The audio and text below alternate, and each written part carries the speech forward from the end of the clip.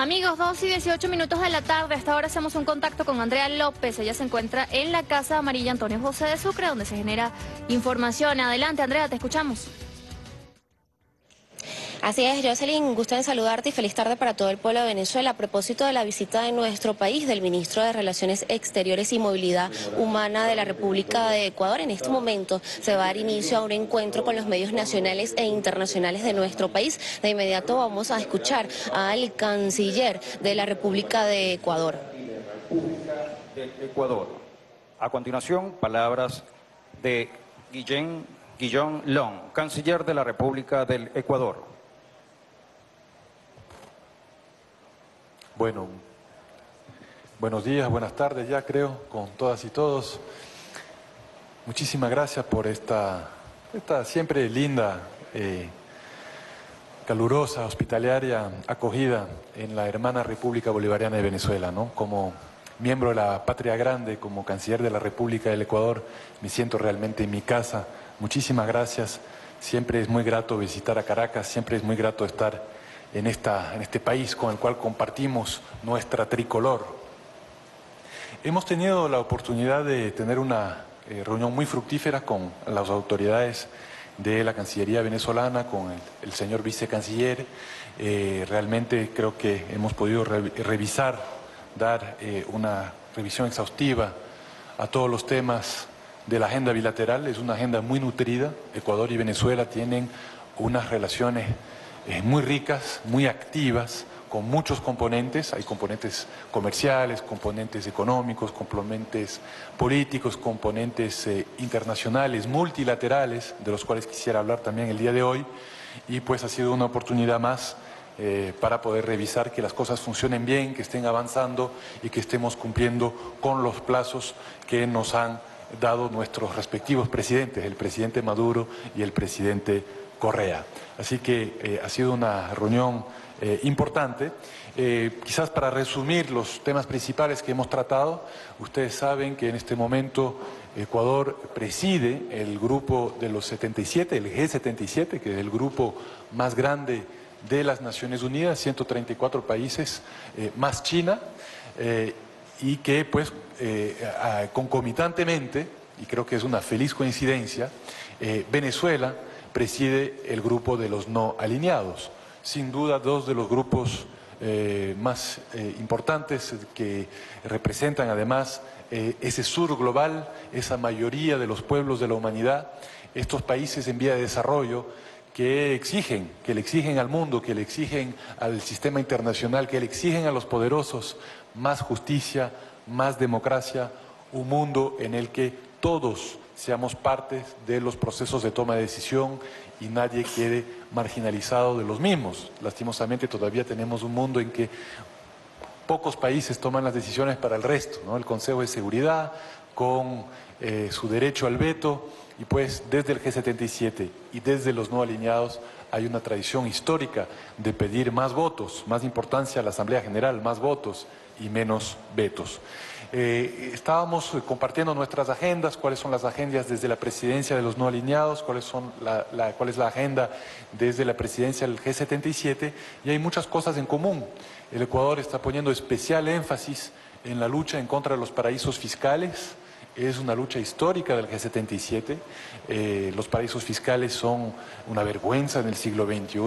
Es el lugar donde nuestras élites esconden eh, sus capitales, sus dineros, evadiendo, eludiendo su responsabilidad, el pagar impuestos, eh, impuestos que podrían ayudar a reducir pobreza, a reducir la desigualdad, dineros que podrían servir como inversiones para generar actividad económica, generar plazas de empleo, realmente es una, eh, eh, eh, una de las grandes contradicciones del sistema mundial en el que vivimos, los paraísos fiscales, con secretismo bancario, ¿no? Eso también permite la corrupción, que se depositen coimas ahí, en algunos casos a funcionarios públicos, muy difícil de detectar para los estados que buscan luchar contra la corrupción y además impiden el financiamiento para el desarrollo. Una de las luchas históricas del G77 y del grupo no alineado es el financiamiento para el desarrollo. Todos estamos de acuerdo ya con la agenda, la agenda 2030 de cuáles son los objetivos de desarrollo sostenible,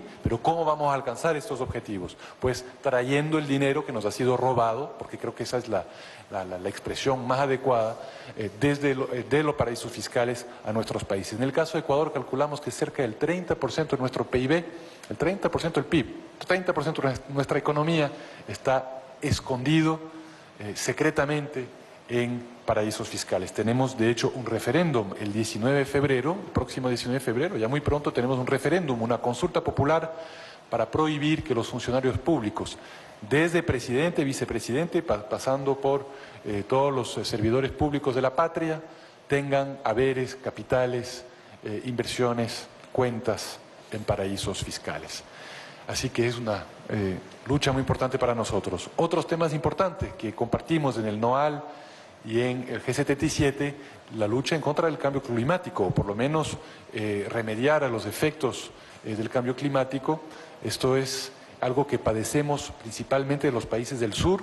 Somos contaminadores marginales, somos emisores marginales de CO2, pero somos los primeros en pagar el costo eh, ambiental del calentamiento global.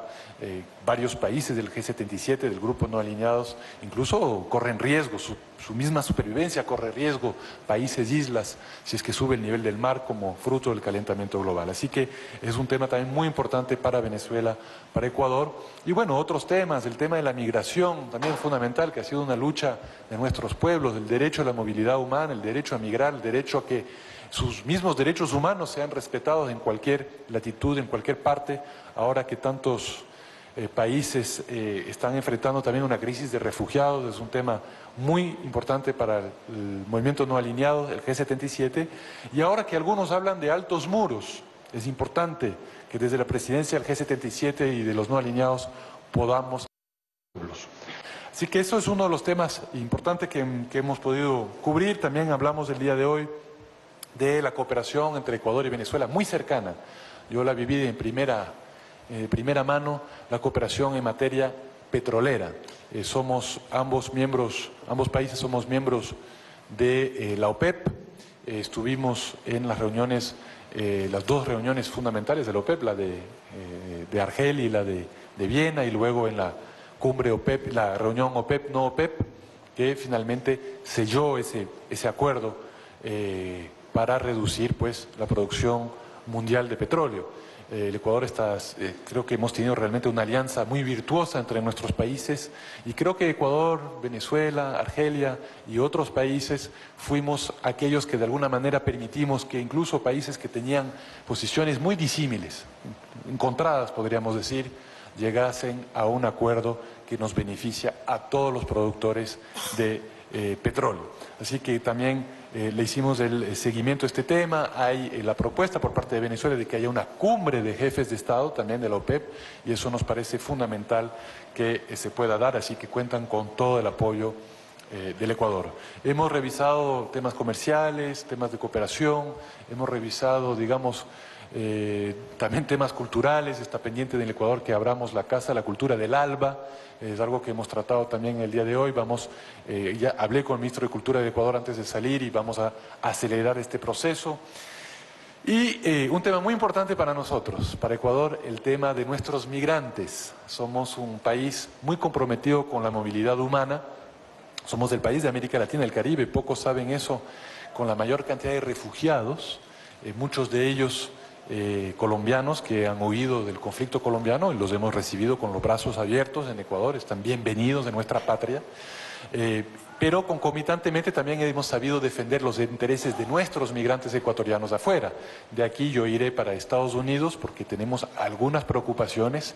Eh, nuestros migrantes están muy nerviosos en Estados Unidos, ¿no? con las últimas declaraciones, las últimas medidas de la nueva administración del presidente Trump en Estados Unidos, entonces hemos extendido el horario de atención, tenemos un plan de contingencia consular para poder atender a nuestros migrantes. Estuvimos la semana pasada, ya hace 10 días, con el presidente Correa en España y en Italia también atendiendo las necesidades de nuestros migrantes. Hemos denominado el gobierno de la Revolución Ciudadana el gobierno de los migrantes.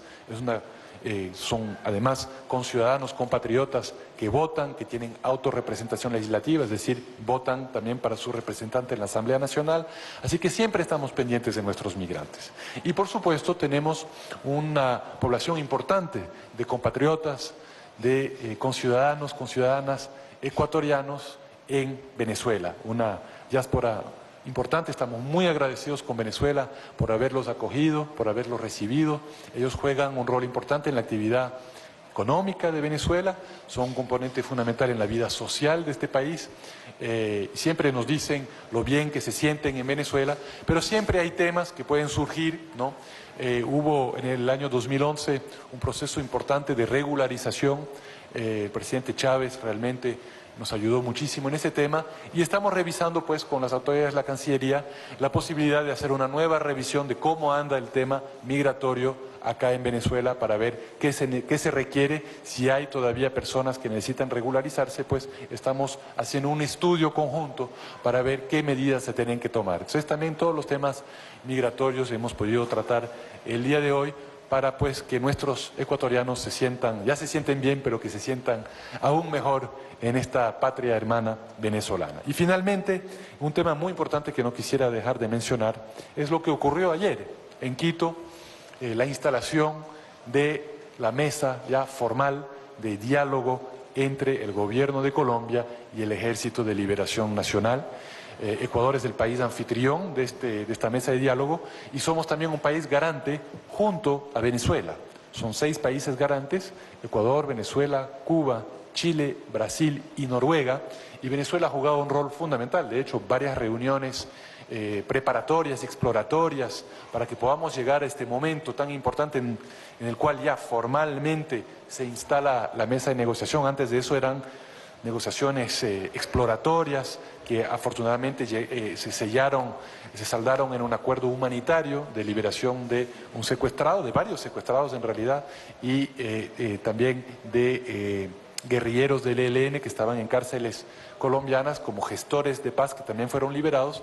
Bueno, eh, este acuerdo humanitario nos permitió llegar pues ayer ya a la instalación formal de la mesa eh, y Venezuela jugó un rol muy importante, varias reuniones fueron en territorio venezolano, eh, muchísimas reuniones también en territorio ecuatoriano y es un tema que ambos gobiernos siguen con mucho interés la paz de Colombia es fundamental para Ecuador, es fundamental para Venezuela. La paz de Colombia significa la paz de nuestra región. Para que nuestros tres países, eh, estos tres países bolivarianos, estos tres países que comparten ese mismo tricolor, este mismo sueño frustrado, pero ojalá eh, que lo podamos concretar, pronto, el sueño de Bolívar, eh, puedan vivir en paz, una paz completa, una paz justa y una paz duradera. Muchísimas gracias. A continuación, ronda de preguntas y respuestas. Por Venezolana de Televisión, Andrea López. Hola, buenas tardes. Primero quería conocer eh, cuántos días va a estar acá en nuestro país, si se va hoy o va a pasar algunos días más acá.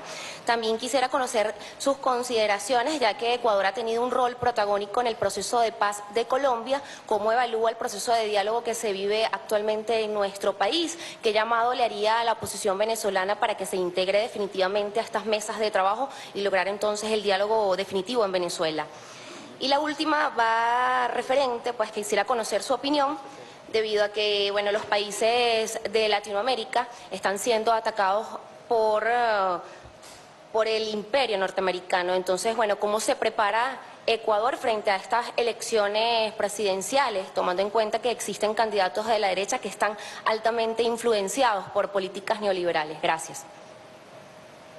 Bueno, muchas gracias. Bueno, es una visita muy corta, el día de hoy apenas, realmente una visita muy ejecutiva para tratar algunos puntos. Yo de aquí eh, seguiré para Estados Unidos, probablemente eh, mañana temprano.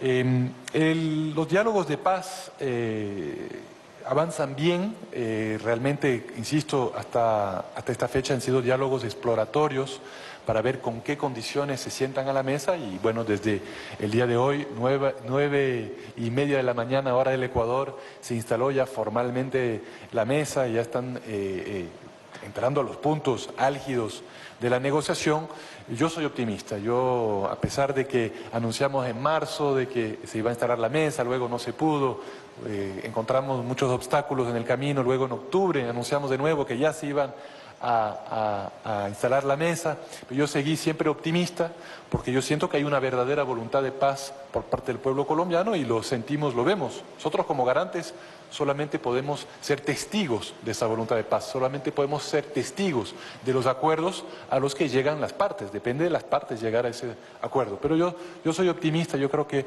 vamos a poder lograr una paz completa eh, para Colombia. Además, tenemos, tenemos el deber histórico de ser, el deber revolucionario de ser eh, optimistas. Ese optimismo es el que nos va a permitir alcanzar ese horizonte de la paz. Eh, vamos a tener entonces en estos días ya pues los diálogos propiamente dicho, las negociaciones propiamente dicho entre el ELN y el gobierno nacional de Colombia y seguramente pronto tendremos pues un anuncio de los primeros avances por parte de ellos. Ecuador viene apoyando el diálogo en Venezuela. Yo creo que el Ecuador ha sido de los países que más ha insistido en ese diálogo y que ese diálogo no tenga interferencias, intervencionismos eh, externos, foráneos, extranjeros. Eh, nos opusimos cuando desde la Secretaría General de la OEA hubo lo que nosotros consideramos eh, una, una intervención inoportuna en desmedro de este diálogo. Eh, y más bien hemos apoyado desde siempre eh, la iniciativa desde la UNASUR. Nosotros somos eh, férreos creyentes en los, en los, procesos integracionistas de, la patria grande de nuestra América. Además, la UNASUR tiene, la Secretaría General de la UNASUR tiene sede en Ecuador, en Quito, Ecuador, así que todo lo que se pueda resolver desde la UNASUR, tanto entre los estados, cuanto también cuando los estados lo quieren y lo deseen de forma soberana, dentro de los mismos estados. Yo creo que la UNASUR puede jugar un rol en los diferendos entre los estados, pero también eh, en la conflictividad política que pueda, eh, surgir dentro de, los estados, siempre y cuando el Estado eh, desee el acompañamiento de la UNASUR, pues mucho mejor. Antes llevábamos todos nuestros pleitos a la OEA y eso significaba llevar pleitos latinoamericanos a Washington. Ahora ha llegado la hora de que nosotros mismos en nuestra región podamos resolver eh, nuestros, nuestras diferencias internas o entre países. Y yo creo que la UNASUR está llamada a jugar un rol fundamental, así que todo nuestro apoyo, el presidente Correa ha sido muy enfático en ese sentido, eh, lo ha dicho siempre, todo el apoyo al diálogo en Venezuela. Eh, respetando siempre la soberanía venezolana y pues el deseo de las, las partes de dialogar, acompañadas por la UNASUR, por los tres expresidentes que han estado aquí haciendo una labor importante, Leonel Fernández, Martín Torrijos y José Luis eh, Rodríguez Zapatero, que hemos apoyado pues desde Ecuador eh, siempre. Eh, y finalmente su última pregunta, que era sobre las elecciones. Bueno, las elecciones van bien, tenemos elecciones históricas importantísimas en el Ecuador el 19 de febrero, es decir, el domingo en 8, elecciones presidenciales elecciones legislativas, es decir, eh, para la Asamblea Nacional y eh, un referéndum, eh, insisto, sobre los paraísos fiscales. nosotros confiamos de que la Revolución Ciudadana es un proyecto histórico que goza del apoyo, de la aprobación de la abrumadora mayoría de nuestra población realmente pasamos de ser un país en crisis, un país sin autoestima, un país sin esperanza, un país con siete presidentes en diez años, con feriado bancario, con base militar estadounidense, con pérdida de nuestra moneda nacional, con toda la crisis, la política, la social, la económica.